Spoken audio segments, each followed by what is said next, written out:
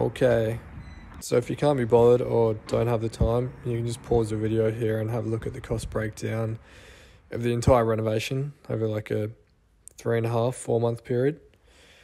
The left and the green is basically where to look, and on the right are just a few of those costs and trades where there are reoccurring costs or where it wasn't just a one off payment.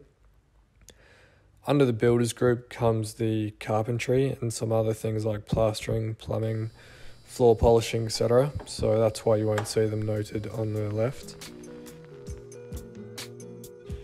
This is the final product of the house as of the start of May. So, as you may have seen from the Google Doc, I spent just shy of 125 grand. Could I have spent less? Yes. Could I have spent more? Yes. I reckon I would have saved at least five grand, you know, doing a bunch of the DIY stuff myself. And having said that, I mean, the real credit should go to the other people that worked here because there's no way I could have done even half the stuff by myself. So, the big ticket items, if you will, were the builder and the trades covered under that. You know, that made up about 67,000. The joinery, 18,000. Exterior painting, 10,000. So, you know, that's about 80% of my spending there the remaining 20% being made up of you know like fixtures and fittings furnishing the place electrical and so on. And again just skip back to the start of the video to refer to the google doc where you know i recorded everything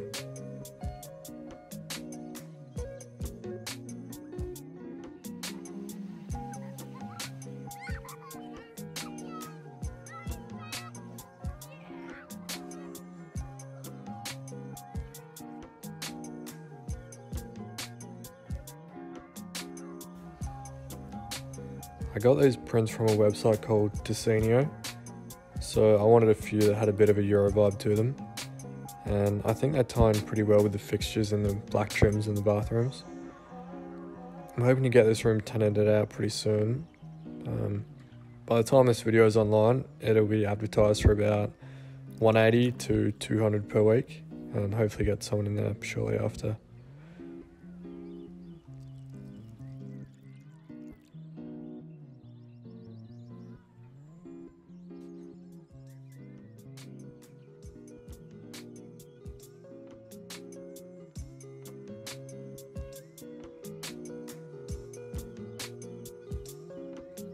This is the office slash nursery, plant nursery that is, where I'm propagating some plants.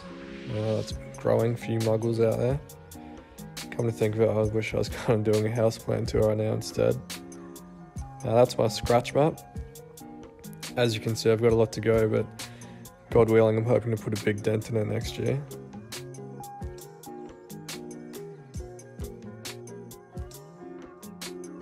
From there, you walk through this little hallway into the master bedroom and walk-in robe and ensuite. So I got three of the bedrooms, including the ensuite carpeted, and that came to around 3,000 I think. It's quite a vulnerable feeling putting your wardrobe out on the internet to see. Please don't judge me. And yeah, the ensuite. I think for a bathroom, you can probably allocate around 10k per bathroom. At least that's what I found from my experience. So I recently had the wow. so I recently went through the exercise of having the house appraised and this gave me a better insight into what both this property and the new townhouse may be worth, which kind of exceeded my expectations a bit. And it's safe to assume that estimating conservatively that they'll both be worth around mid 500s. And again, that's conservatively. Um, ideally, when I come to sell the townhouse, high fives or even early sixes would be would be ideal. And it'll be interesting to come back and watch this video once I've completed and, and sold it.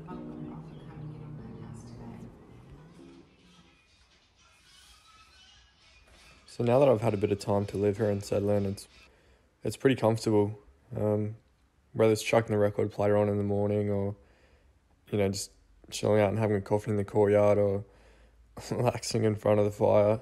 Um, it's just got this really welcoming feel to it, I guess. And everything works functionally. Um, even though it's a small, compact kitchen, it still performs well. And all the rooms have dimmer switches, which is perfect for, you know, obvious reasons. Like watching MasterChef without straining your eyes.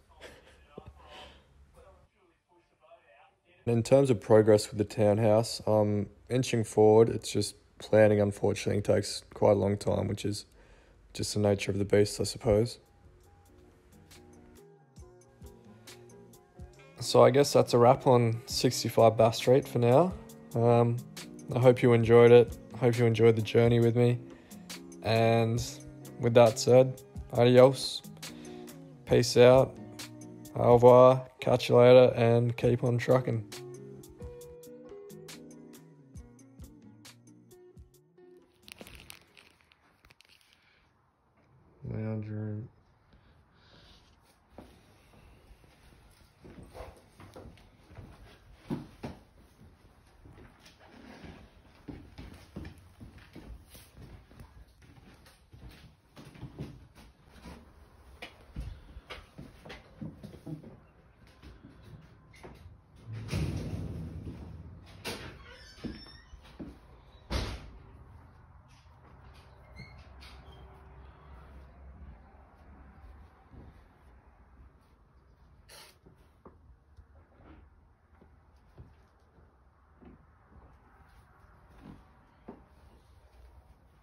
Can you sign a Tony out front?